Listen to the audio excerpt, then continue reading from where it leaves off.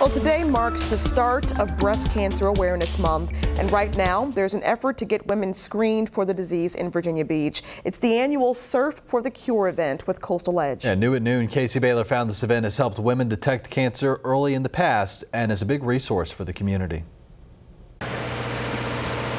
Blair Daniels says her friends convinced her to get a mammogram at the Coastal Edge Surf for the Cure clinic three years ago. Peer pressure. I've always worked this event with the Wahine Surf Club and peer pressure. They're like, oh, you're 40.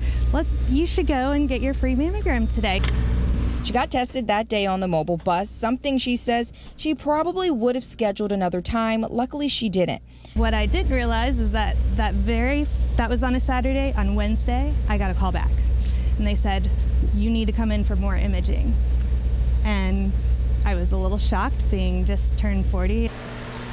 Doctors ran more tests, and after several visits, they found a benign tumor. I am very, very thankful, but also realize how important this is. Surf for the Cure coordinator Amy Rhodes says that's what it's all about.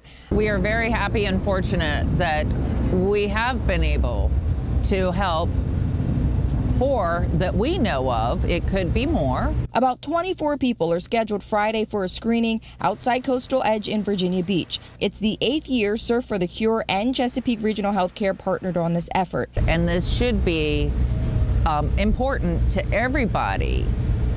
Early detection will help in your process of treatment. It's free even if you don't have insurance.